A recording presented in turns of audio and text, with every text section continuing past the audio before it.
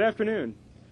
I'm Steve Frick. I'm the commander of the STS 122 mission. Uh, we're really excited to be here in Florida today, obviously on a tremendous day, and we hope it stays like this all week long. Uh, to have our chance to launch in Atlantis on Thursday and bring the Columbus module up to the International Space Station. Uh, obviously, it's been a real long uh, training flow for us, a uh, long time building to this uh, to this moment, uh, and so we're just absolutely ready to go. Uh, we know the shuttle program has worked really hard to get Atlantis ready, actually ahead of schedule uh, for this Thursday, and the uh, the station folks and uh, Peggy Whitson and her crew up on orbit have worked uh, just tremendous hours in the last month, month and a half to uh, catch up from the the work we had to do on STS 120, the extra work to get it ready so we could actually launch on time. We really appreciate their effort. we only have a week of launch window, so we're really excited to launch successfully on the first try.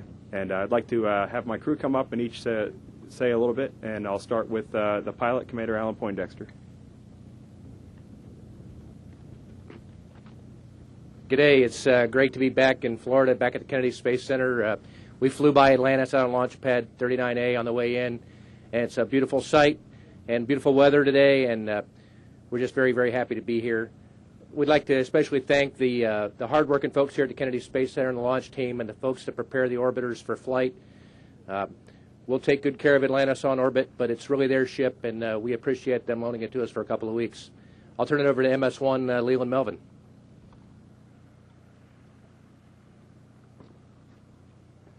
Good morning. It's great to be back, and we were here, I guess, a couple of weeks ago for the, uh, the terminal countdown test. Now it's the real day, real time, ready to go for uh, our STS-122 mission.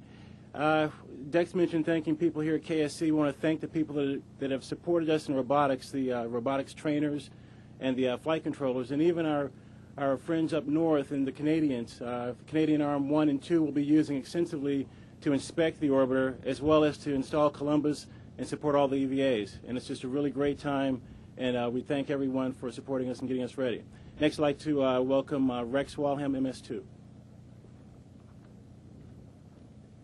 Hi, my name is Rex Walheim, and I'm MS2. It's uh, great to be back here, especially seeing Atlantis on the launch pad, and it's, uh, it really is exciting to, to get a chance to go into space again.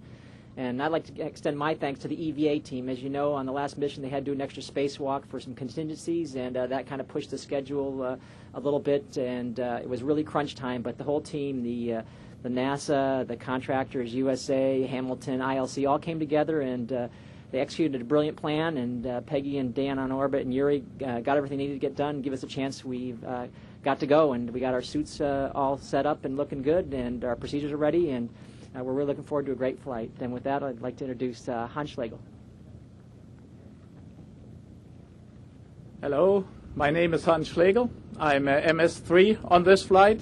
I'll work in the middeck, outside doing EVAs, and outfitting and activating Columbus. As you probably all know, Columbus is the biggest contribution from Europe for the International Space Station.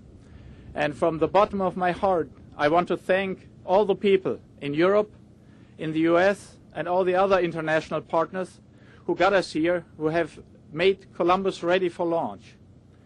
I feel very honored to be a member of this crew who will bring up Columbus for Europe into space. By doing this, launching Columbus, attaching it to the International Space Station, operating it around the clock, Europe will be become a senior partner in human spaceflight.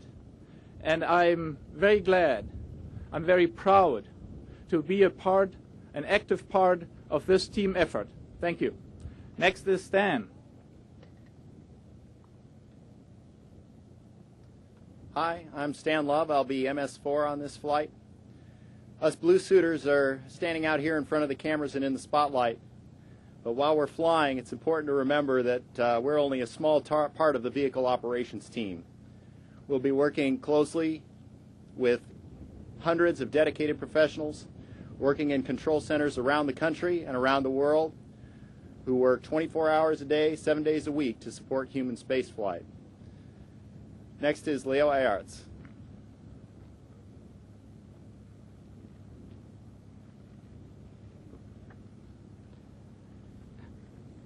I am uh, Leo Ayat, and uh, it's a great honor for me to be part of this mission. uh, of this shuttle crew and uh, of the uh, ISS Expedi- Expedition 16 crew. My first thought would be for all the teams in Europe, in the US, and elsewhere who have been uh, um, making this uh, this mission possible. I know that it's been a it has been a long wait uh, for them and for us, and uh, I, I'm sure a lot of people are today happy to see that the Columbus module will soon go to space. Uh, what I'd like to mention too is that uh, during my flight in February, we might have also the European cargo carrier, the ATV, which will hopefully blast off from the French Guiana, and uh, that's, that will be another big milestone for Europe participation to the uh, ISS program. Um, and as I will be probably gone for a while, um, I would like to uh, wish you all a Merry Christmas and a Happy New Year, and uh, see you in 2008. All right, thanks everybody. We're going to go uh, get in crew quarters and finish our training. Group shot.